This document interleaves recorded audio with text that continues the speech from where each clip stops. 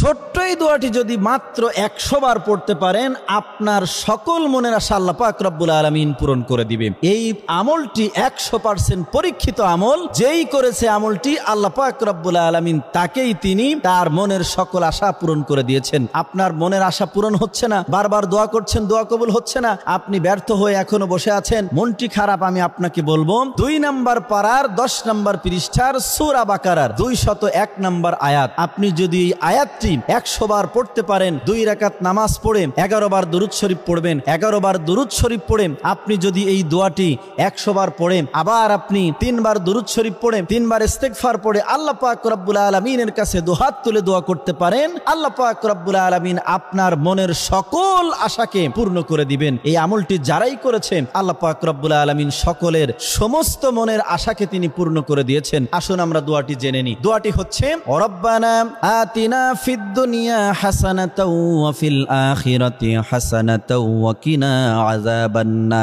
আমি আবার বলছি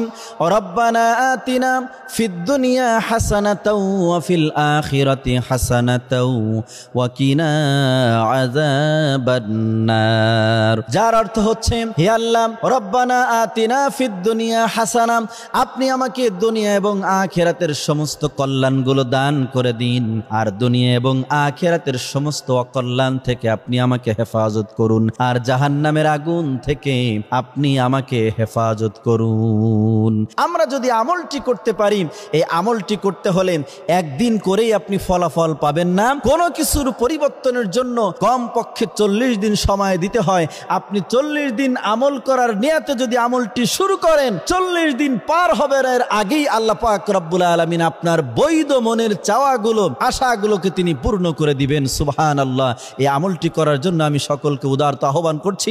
আপনার এই আমলগুলো করবেন, আল্লাহ পাক রব্বুল আলমিন যেন আমাদেরকে আমলগুলো করার তৌফিক দেন, আমিন।